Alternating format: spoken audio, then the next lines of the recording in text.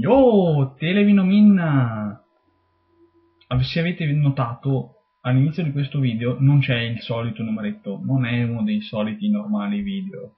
È una cosa che ho in mente da un po' di tempo, una rubrica settimanale, falsamente settimanale, dedicata interamente a un qualcosa che non c'entra un cazzo con i giochi di carte. Finalmente! Non avete visto come mi sono vestito bene? Ho abbinato la mia camicia migliore con la mia canottiera migliore per creare questo look...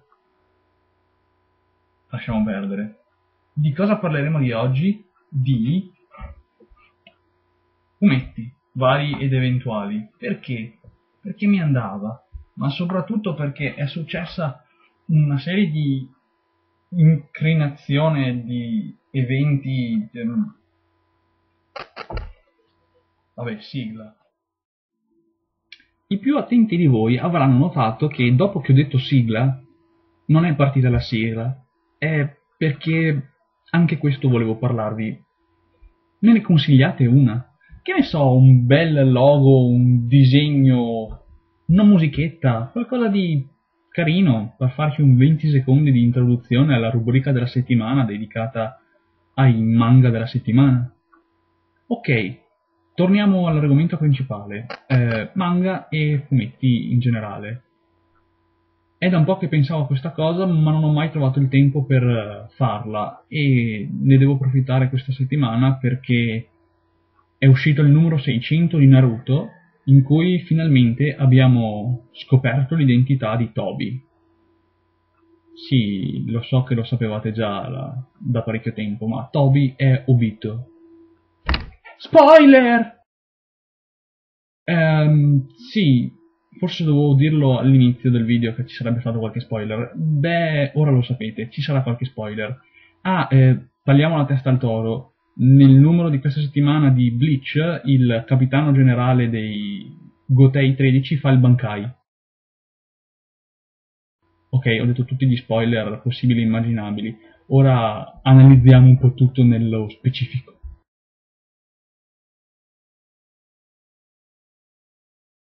Allora, facciamo un po' di introduzione prima. Bleach è un fumetto che a me piace tantissimo per tutti i rimandi alla cultura mondiale che fa Kubo all'interno del fumetto.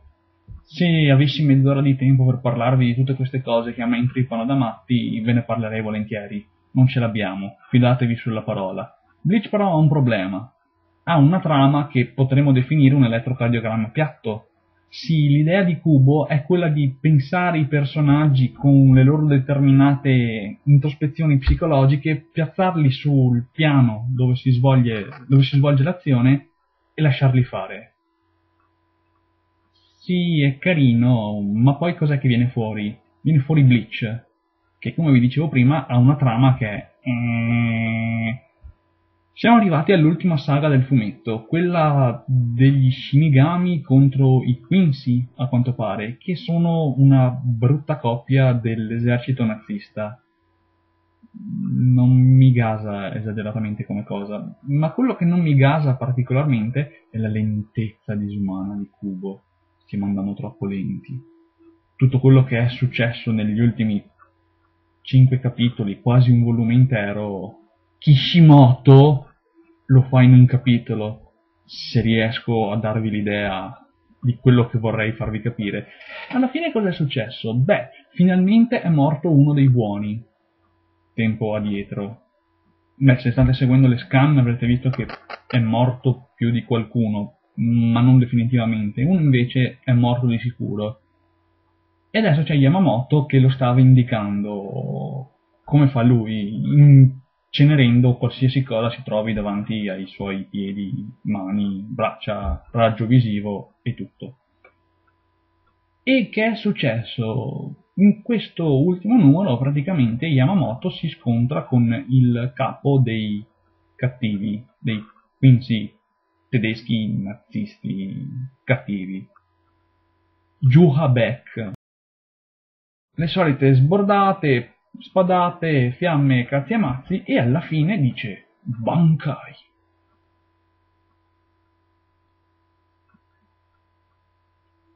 Ottenendo il risultato di spegnere le fiamme intorno a sé e ehm, tenere la, la spada mezza carbonizzata. Avrà qualche potere particolare? Spero che lo scopriremo la settimana prossima.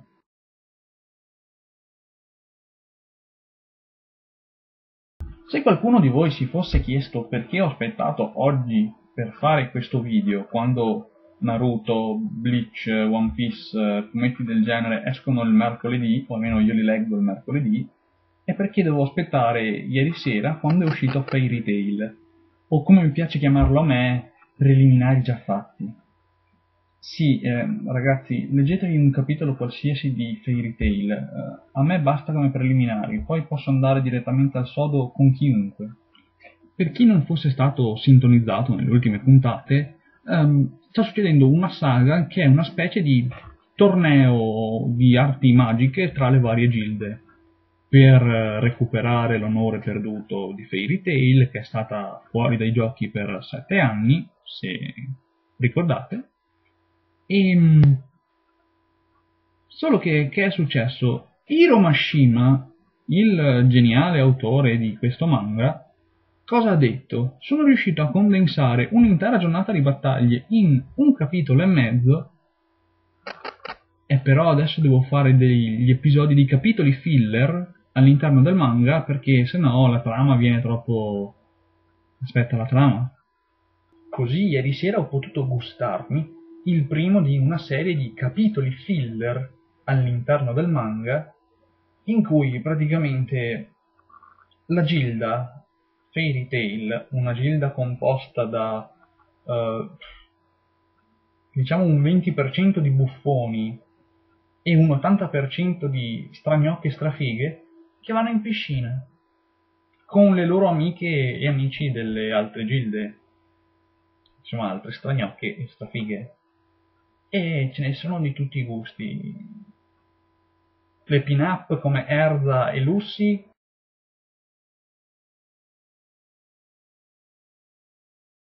le Lolite come Wendy e Celia, Kelia,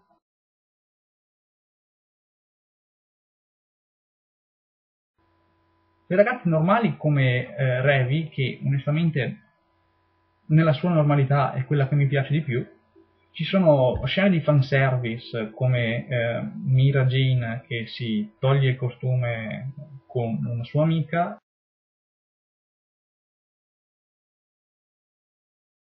E, oppure fanservice un attimo meno fanservice. È stata una puntata così dedicata alle tette e ai costumi da bagno bagnati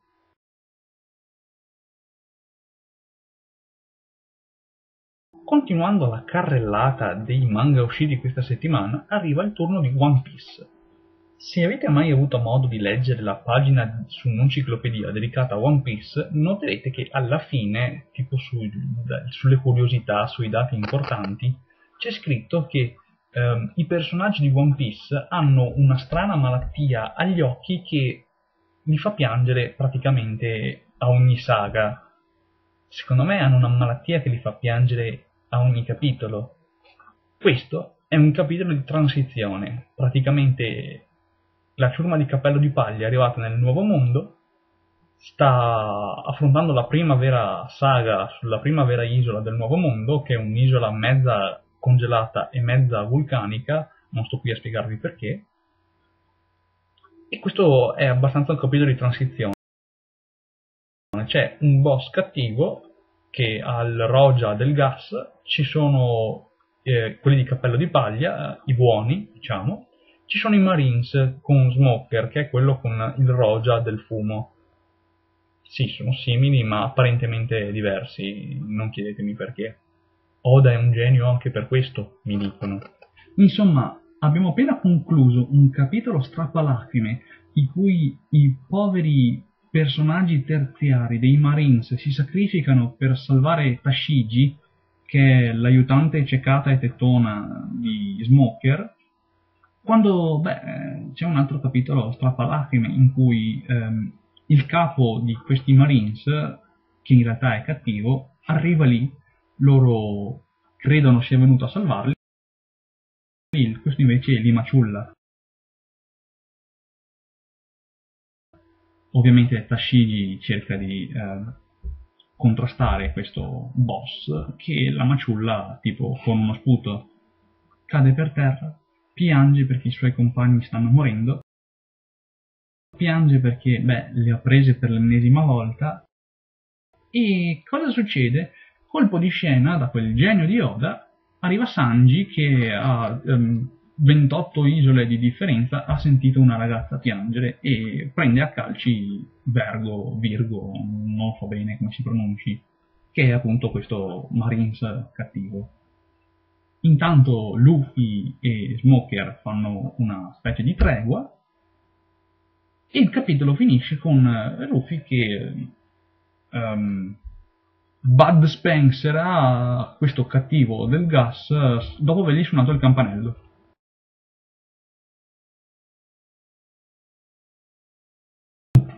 Mi vedete? Chi sono?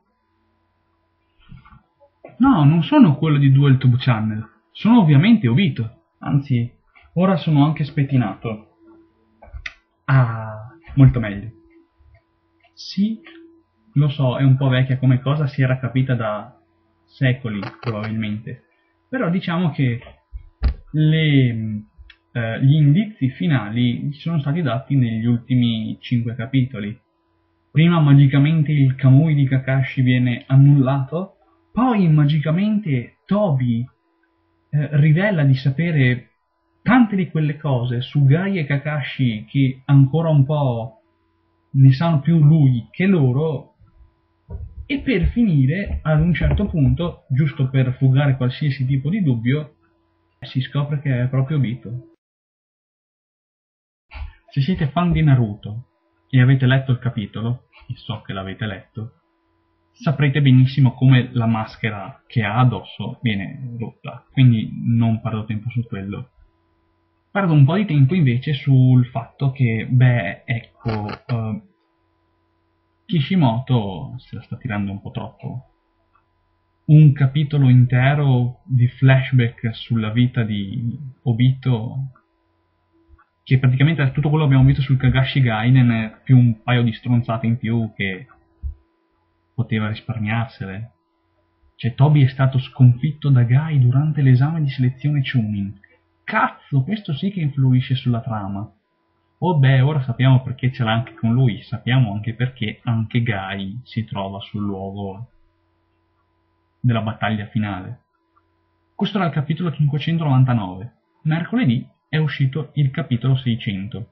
Il 599 si concludeva col bellissimo faccione, col normalissimo faccione, col faccione di Obito mezzo sfigurato proprio a rivelare che sì, è lui. Avete sempre detto che era Obito, e sì, era proprio Obito, non era Madara, non era Danzo, non era Akamaru, era proprio Obito. Solo in questo momento penso che chiamerò questo video 100% spoiler, perché ci sono tanti di quegli spoiler dentro che dovrebbe essere persino dannoso per la salute. Oh beh, che stavo dicendo? Oh già, eh, sì, Toby e Obito, capitolo 600. Ecco, um, 15 pagine di capitolo. Togliamone una cara la copertina. Restano 14 pagine. Togliamone 7, che era un copia e incolla spudoratamente preso dal Kakashi Gaiden, ne restano altre 7. Praticamente che succede? Ehm, Obito dice che è sopravvissuto perché Rin è morta. Sì, non è molto chiaro, infatti anche Kakashi fa un po' what the fuck e gli chiede non stai forse cercando di dire che è stata colpa mia? E noi qui a dire cazzo, sì, parlatene, vogliamo capire com'è morta questa povera tizia. E io Vito, ma di la verità non è che me ne freghi poi così tanto, sai, perché questo mondo non è che mi dia tutto questo interesse. E Fine. Oh sì, um, Obito mostra una tecnica di fuoco, finalmente, dopo uh, 400 capitoli circa che esiste il personaggio, fa una tecnica diversa dal Kamui. Naruto la contrasta, c'è qualcosa che non sa fare quel ragazzo con un Rasengan in mano. Ah sì, e arriva Madara.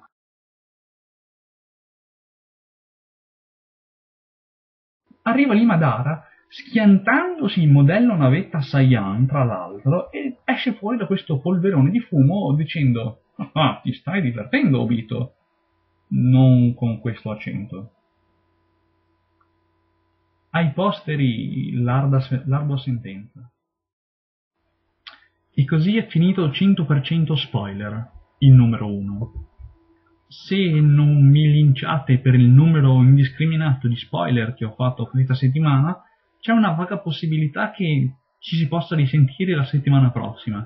Se invece dovessi morire prima, beh, ne è valsa la pena.